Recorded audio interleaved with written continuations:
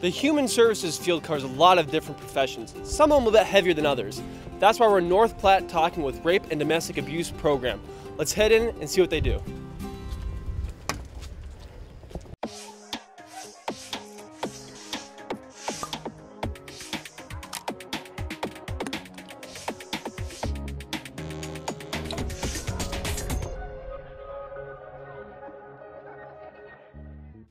I am here at the Rape and Domestic Abuse Program of North Platte, and I'm talking with Jenny. She is the executive director here, is that correct? Yes. So tell me a little bit about RDAP.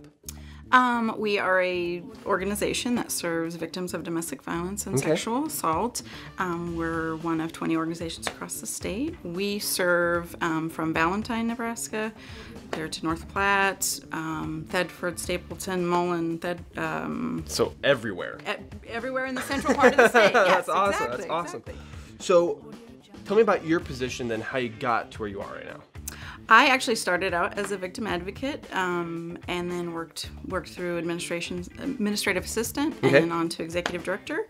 I now um, run the program, manage human resources, financial aspect, all the po- policies and procedures. That's awesome. Yeah, yeah. So you listed a lot of careers. Um, what are some careers you guys still have here right now? Um, we have victim advocate, Okay. um, which is a kind of an entry level position for the for the program. Um, you're going to do one on one crisis counseling and, right. and assistance with victims. Um, then we have a mental health professional or counselor, Okay.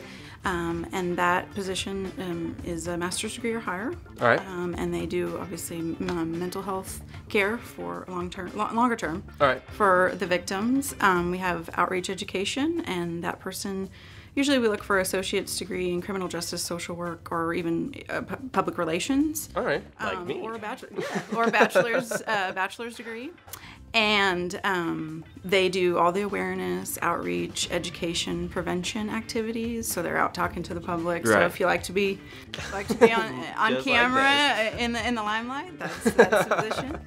Um, and then we have administration, which is administrative assistant, which helps me. Yeah. Um, and and executive director do all the all the fun, like the backbone work Right, right. of the agency. Wow, so this sounds like all your careers, there's a little bit of everything for anybody, depending on experience, Absolutely. education level. So it's a great place for anybody wanting to help out people. Ex- exactly. Jenny, thank you so much for your time. And those are some of the careers you can find here at the Rape and Domestic Abuse Program of North Platte.